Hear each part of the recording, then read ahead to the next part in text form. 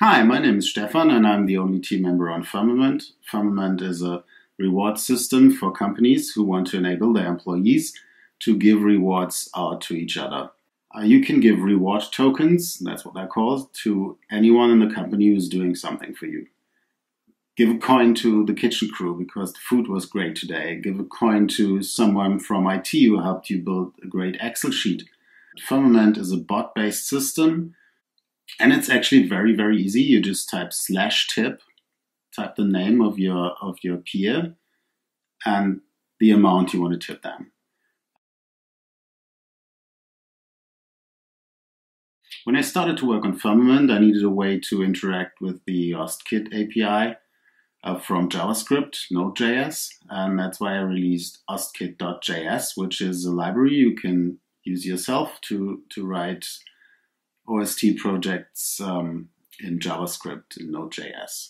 You can check it out in NPM um, and also on GitHub.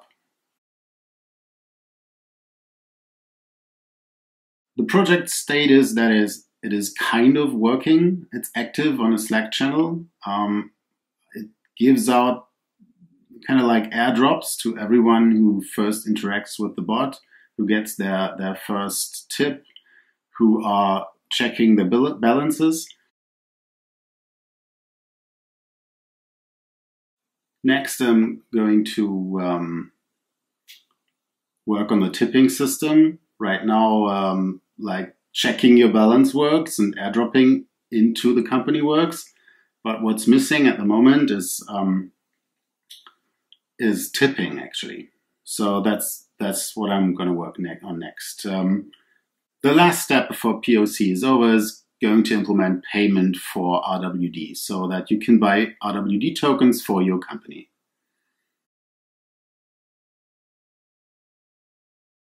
One of the great things about these tokens on the OST network is that they have a value. Um, when you're minting tokens on, say, ERC20 contracts on the Ethereum network, um, they don't have a value. You you will have to negotiate with exchanges. Um, you will have to shill your coin. Um, you don't have to do that when you're on the OST network because value of my token is bound to the value of OST. The hardest part about the project is security considerations because uh, from the account you actually have access to all funds of all users. And um, I want to make it as secure as possible. So uh, right now I'm not storing the credentials anywhere.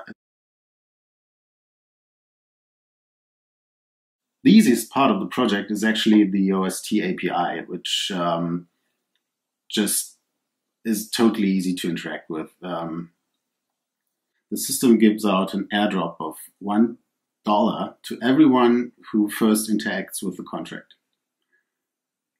The system gives out one dollar to everyone who interacts um, with the bot. Um, and um, OST Kit is able to calculate how much RWD tokens people get so that they can they always get one dollar. I don't have to do the calculations. I don't have the risk that it may be it might be like worth less 10 seconds later because someone dumped their coins on an exchange. Everything is handled by OST. And that's kind of kind of one of the major points for me using OST.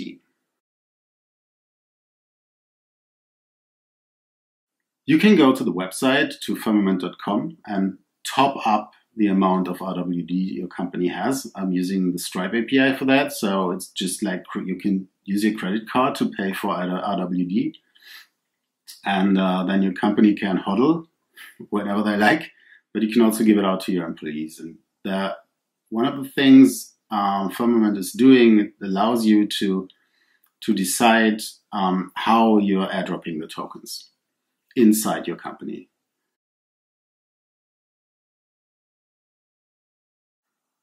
Well, it's one token for all. And I'm I'm currently I'm thinking about making it also a community token.